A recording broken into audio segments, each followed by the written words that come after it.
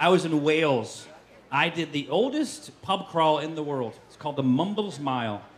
And all these old, beautiful pubs, you're walking along and having, having drinks, getting more schnockered the further you go. And there was this lady in this very colorful regalia, and she's holding a bucket and she's collecting money for children's charities. And I was sitting back just kind of watching her, and people would come up and they were giving her money, but they were running away. They weren't even acknowledging her as a person because I, I guess she was dressed so, so vibrantly. And so I walk over to her and I said, Hey, thank you so much for your doing. And I put money in her bucket. She's like, All right, good on you. And she went to grab my dick. I didn't know that that's what was happening.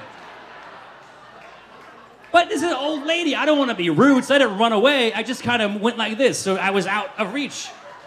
And I thought it was over. She went in again. I was like, every time she came in, I was, but I didn't move my feet. That would be rude. So I was like one of those toys you press down and it crumbles and it goes back up like this. I was just, don't, I don't be, no, stop it. Hey, what? Stop. Lady, no, no, stop it.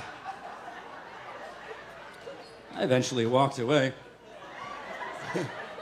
But then I get to uh, I get to Japan months later, and I'm at a sake sake bar, drinking with the owner of a sake brewery, and there's a very loud table of guys next to us, and they came over to see what we were doing, uh, shooting the show, and they were pretty hammered. And one of the guys comes up, and I know this look. He was a crotch grabber. I could tell and he came up, but I was ready for him. He comes and he's like, ah, I'm like, ha ha, uh-uh. I will turn around on you, buddy. I'm not, I'll move my feet for you. And then he was like, he'd walk away, and then he'd kind of sneak around. I'm like, what? No, stop it. Nope. Get away. And I'm like, I'm now trying to have a conversation with this guy who owns a sake brewery, but this guy, this crotch grabber, keeps running around, and I have to like get out of the way. And then at some point, I'm like, no, I can't live my life like this. I can't live my life in fear. I'm going to I'm gonna take a chance.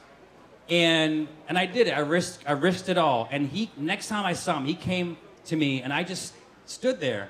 And when he was about six feet away, I locked eyes with him. I put my hands firmly on my hips and I said, When you grab it, you don't let go, buddy. Get it. Get it. He was like, No!